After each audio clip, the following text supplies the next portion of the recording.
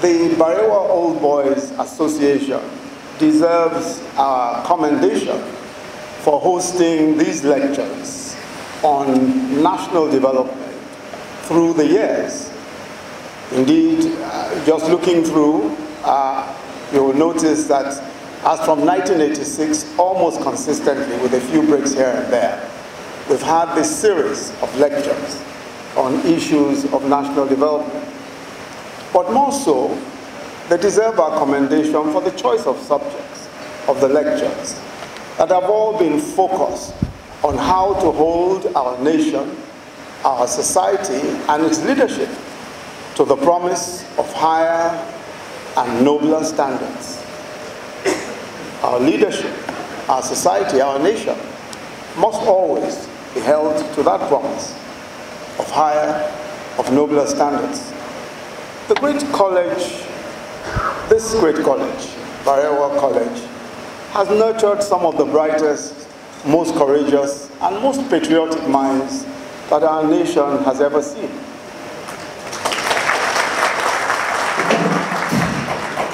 The great visionary, Sir Ahmadu Bello Sardauna Sokoto, who is responsible for ensuring the galvanization of northern Nigeria into the federal system that our nation has become. His incredible foresight has led to a lot of the educational development that northern Nigeria has experienced, especially in those early days. Nigeria's first prime minister, Alhaji Tafawa Balewa, the golden voice of Africa, whose vision for a united Nigeria withstood the challenges of time. And up till today, his vibrant words of unity continue to echo and resonate amongst us. It was he who said, and I quote, we must recognize our diversity and the peculiar conditions under which the different tribal communities live the federal system is under the present conditions the only sure basis on which Nigeria will remain united. End of quote. Sir Kashim Ibrahim, first indigenous governor general of northern Nigeria, and of course Malam Aminu Kano, perhaps Nigeria's most articulate proponent of a pathway for social justice especially in a desperately, especially in a desperately poor society. And I'll come back to that. And General Murtala Mohammed, who was killed as he courageously led an attempt at a Nigerian and African ethical and moral rebirth. And of course, today's chair and former head of state, who by the sheer hand of God led the country when there was an existential need to declare to a divided country that there was no victor and no vanquished. Alhaji Shehu Shagari, Nigeria's first executive vice uh, executive president.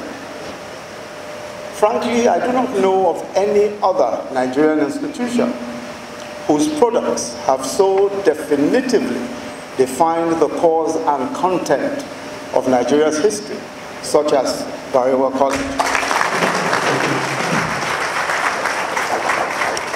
That sort of pervasive influence has its positives and negatives, but that is for another day.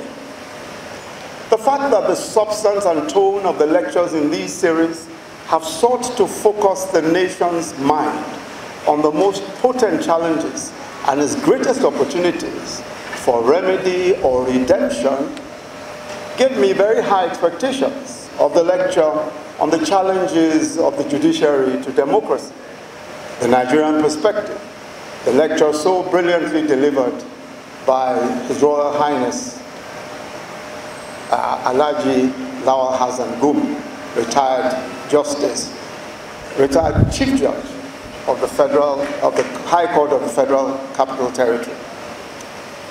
And his lordship largely meets those expectations, as he clearly makes the point about the importance of separation of powers, the centrality of the rule of law, and the importance of respect for the adjudicatory conclusions of our courts, whether they are palatable or they are not palatable. His Lordship expectedly gives a pass mark to the judiciary, his own uh, constituency. And I quote him where he says, by and large, over the years, the judiciary has remained faithful to the Constitution and by extension, democracy by ensuring fair hearing and guarding against violations of democratic norms. Ultimately, the aim of the judiciary is to maintain cohesion in a society by arbitrating between man and man, as well as man and state. In Nigeria, I have no doubt that the judiciary, the judiciary has gone a long way in achieving this, notwithstanding the enormous challenges being encountered. End of quote. I believe that His Lordship is right, that the judiciary has served a most useful purpose. I'm not entirely certain, though, that His Lordship has been as fair to the executive. Certainly, uh, I do not believe that, the, that uh, His Lordship's entire conclusions on the executive have been entirely fair. So perhaps there's a need to correct some of the premises upon which His Royal Highness's observations are based, so that we do not end up diminishing the very crucial points that His Lordship makes. My Lord's assertion that nothing, and I, I am used to calling uh, His Royal Highness my Lord, so please excuse me, because as you know, I mean, if you appear before uh, their lordships, you just get used to my lord. I don't, I mean, anytime I have to say Royal Highness, I get stuck. But my lord, my lord's assertion that nothing has changed with regard to democratic conduct, even in this administration, is not, in my respectful view, borne out by the facts. For with respect, the relationship of the executive and the National Assembly and I think it's fair to say that the executive, especially this uh, current executive, has refrained from interfering, first with the National Assembly's choice of its leadership and the conduct of its affairs, even though, even though sometimes there are those who will argue that that is detrimental and has considerably slowed down the work of the executive.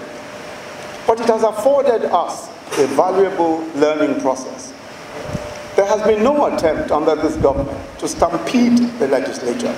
It's easy to forget that Nigeria had five Senate presidents between 1999 and 2007. Very easy to forget.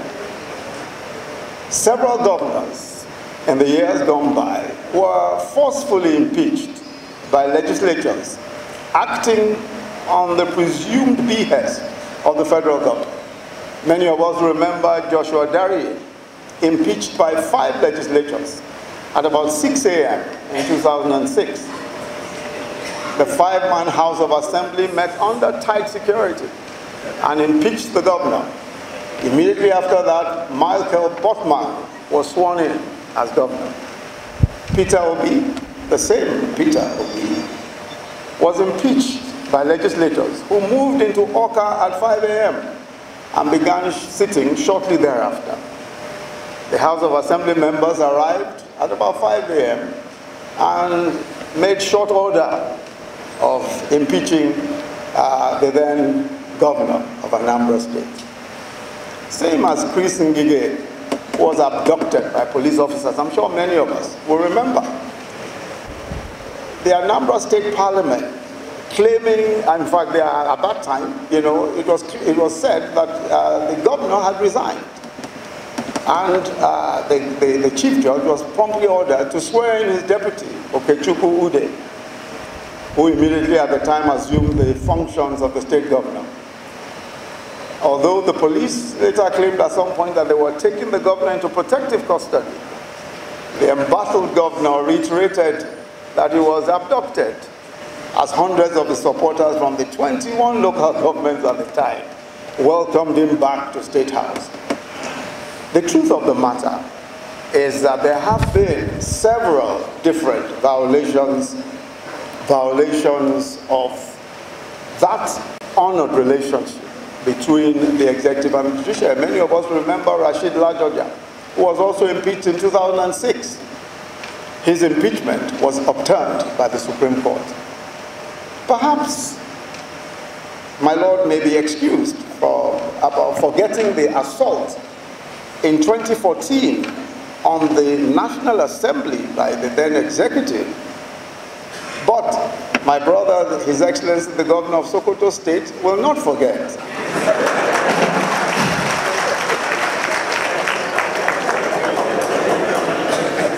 As, as then he was the Right Honorable Speaker, and many of his colleagues resorted to acrobatics to scale the walls,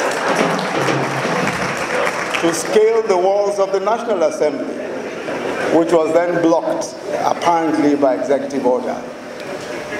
When my Lord excused that government uh, from uh, any forms of uh, misbehavior, I was, I was surprised. I was Attorney General in Lagos when the executive withheld the funds due to our local government and due to our state. We were not able to recover it despite the Supreme Court's order until after we had left office. In the same period, and when I say the same period, I refer again to 2013, 2014, and I make these points because uh, my Lord had mentioned that uh, perhaps only that the governments of uh, Umaru uh, uh, as well as uh, Jonathan should be excused. But that same period, 2013 to 2014, if you recall, the Governors Forum uh, came under severe executive interference, just even the Governors Forum. If you remember the whole controversy as to whether 16 is greater than 19,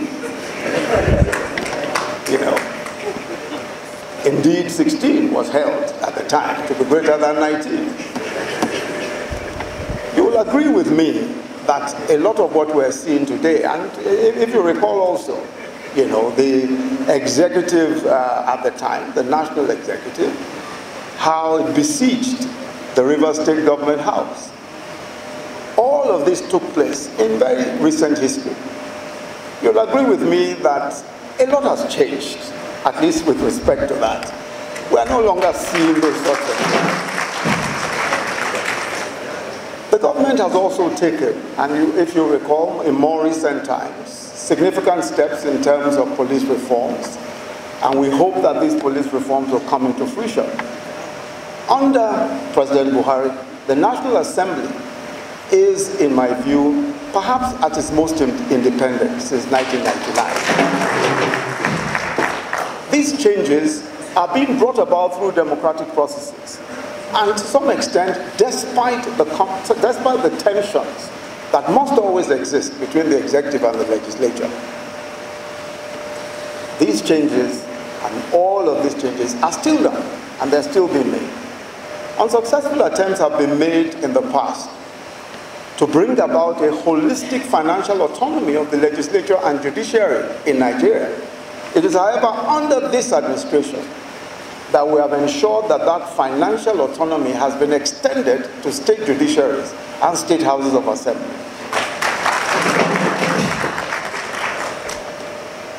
My Lord also appeared to be a bit dissatisfied with the slogan that change begins with the individual.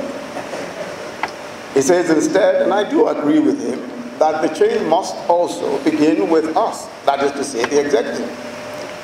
But it was the great uh, Mahatma Gandhi who charged us all to be the change that we want to be, to want to see. Any change that we want to see in this world, the great Gandhi charged us to be that change. It is a call to civic responsibility. And it's not an excuse, and I agree entirely with his lordship, it's not an excuse for leadership to shirk its own responsibilities. But permit me to say that the change in our nation may not be as difficult to see as all that. Clearly, all of what we expect to see is not, we have not seen all we expect to see. But today, if we were to ask our brothers and sisters in the Northeast who watched Boko Haram seize 14 local governments as of 2014 and hoist their flags in 14 different local governments. And they saw schools and major roads closed and, would not even, and could not even celebrate Salah or Christmas for many years. Then perhaps we will find that they will say that they have seen some change.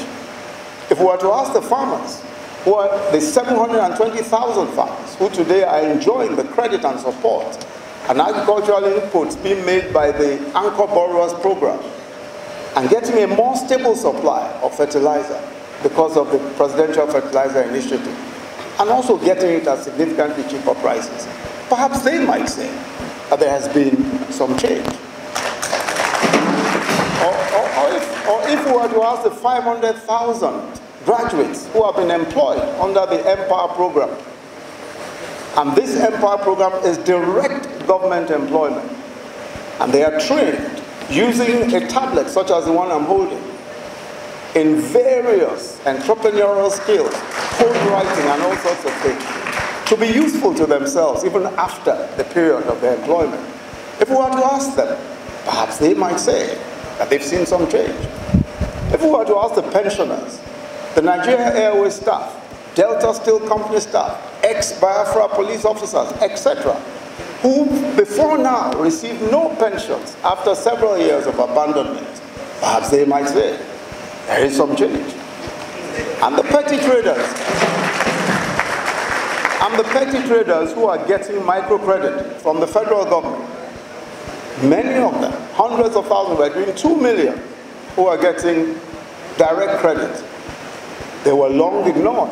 Nobody ever paid attention to the poorest in the value chain, to the poorest of our people. No one ever paid attention to, the, to their welfare.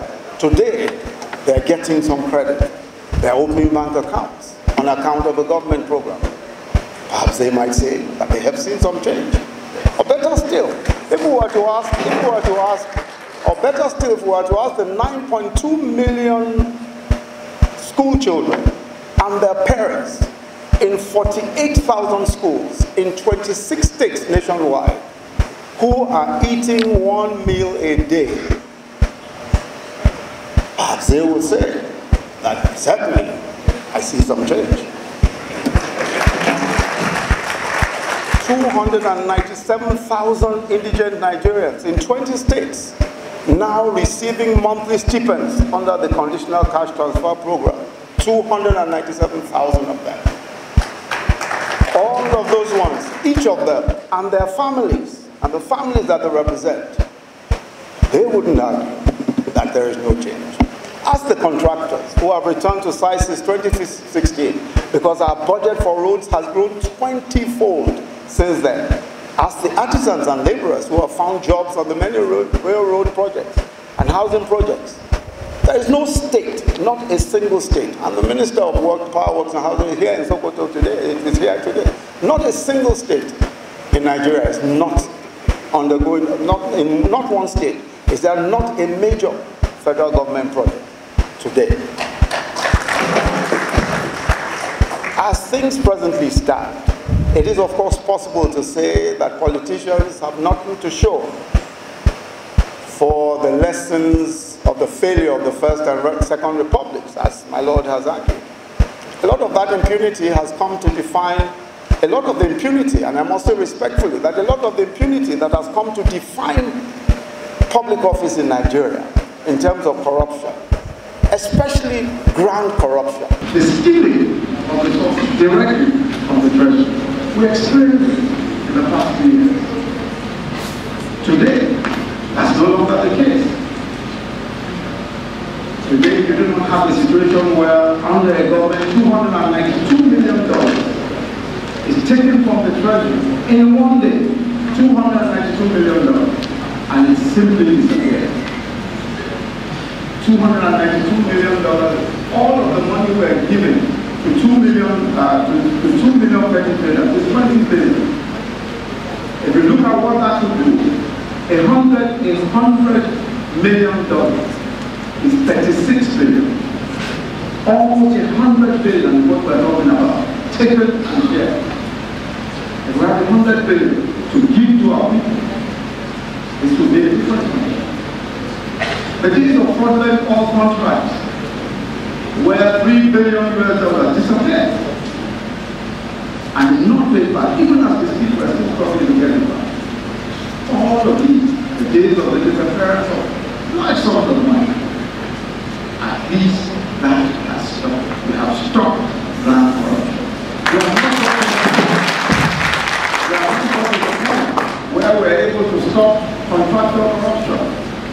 got to that point. And it shows you the extent of the problem. It shows you how big the problem is. For God helping us, our country will be transformed. Our country will change. We will deal with this issue of fraud. Our country will change. The policy of this government of direct procurement, in respect with respect to uh, security, has helped it with security equipment, direct procurement of security, has helped it with. But then uh, I don't want uh, to dwell on all of that. And all of what we have seen, all of what we have seen, in the various ways by which we have tried to ensure that the lessons of the past, especially with land corruption, have been dealt with. These days, the government is achieving far more. We're earning 60% less than the previous government, 60%. And we have spent 2.7 trillion in Naira on infrastructure, on capital, the largest capital spend in the history of our country. I think it is safe to say that some lessons have been learned. But let me just very quickly go on.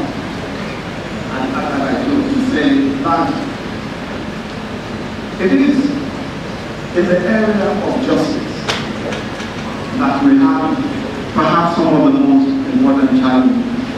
And when I say justice, I mean even our definition of justice. The truth is that the Nigerian elite sees justice from the point of view of how we, the elite, are treated. So if a member of our, of our company, a member of our group, when I say our group, I refer to the political, the religious, and the business elite, is detained. We suddenly begin to shout, injustice, injustice. Justice for the majority of our people who are poor, who are dispossessed, has a different definition. And this is why, as a lawyer, I was greatly inspired by the thoughts of Malam Aminu Kano. And I say that I was greatly inspired by his thoughts because he understood what the concept of social justice meant. What is the point of justice? When hundreds, when millions of our people experience a type of poverty that makes it difficult to describe them as human. What is the point of justice?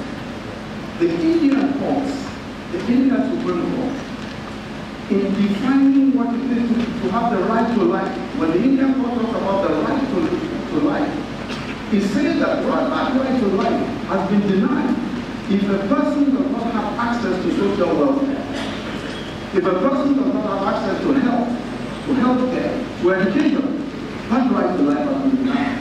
That is the view of Malam that our country must provide for its teeming poor, that justice, especially what the concept of distributed justice, the concepts that underlie